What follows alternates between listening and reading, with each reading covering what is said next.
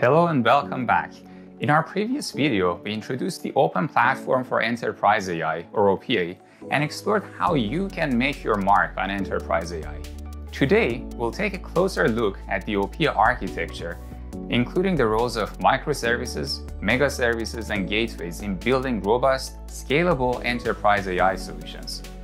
Understanding these building blocks is essential for anyone aiming to deploy flexible enterprise-grade AI applications that deliver real business value. Are you building AI-powered applications like chatbots that answer questions based on your company's documents? If so, you know the workflow is complex and includes document ingestion, vector embeddings, retrieval systems, language models, and more. Each of these components brings its own set of choices and challenges. Traditionally, you might start with a monolithic solution, one big application where everything is tightly coupled. It's quick to build, but what happens when you need to swap out just one part, like your embedding model or vector database? Suddenly, a small change can trigger a cascade of painful rewrites. There is a better way. OPEA lets you break down your GenAI workflow into standalone microservices. Then use a service composer to orchestrate them into a mega service that coordinates your end-to-end use case. Let's examine the core components of the OPEA architecture, microservices, megaservices, and gateways, and explore how they interrelate with a theater production analogy. Each microservice handles a specific task, like text embedding, document retrieval, or LLM integration. These are your building blocks, designed for flexibility, scalability, and easy integration. Think of microservices like members of a theater production.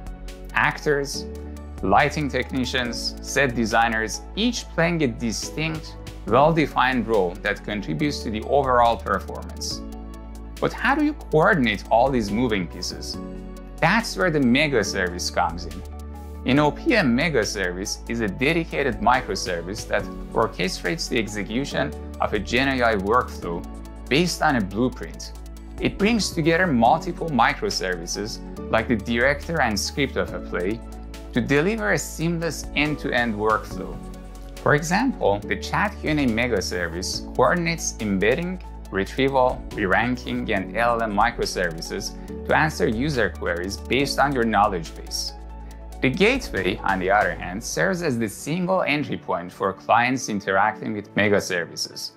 It handles request routing, authentication, and load balancing, simplifying client interactions with the system. A widely used open source solution in this context is Nginx, a reverse proxy that can provide some gateway functionality. Conceptually, the gateway is like the front of the house team, handling ticketing, directing patrons to their seats, and managing capacity to prevent overcrowding. Here is the sample workflow showing the interaction between these components. Client sends in a request, Gateway authenticates and routes the request to appropriate microservices, Megaservice follows its blueprint to orchestrate the microservices, microservices execute their defined tasks, and final response is sent back to the client through the gateway. It's clear, modular, flexible, and easy to adapt. And the best part? You can reuse out-of-the-box megaservices. Creating or customizing a megaservice is only necessary for specialized scenarios. Ready to start building with OPEA megaservices? Check out OPEA's GenAI components for reusable microservices and GenAI examples for full megaservice implementations. There are links in the description. Mix and match OPEA components with your own services or third-party tools. No more painful rewrites, just streamlined innovation. Thanks for watching.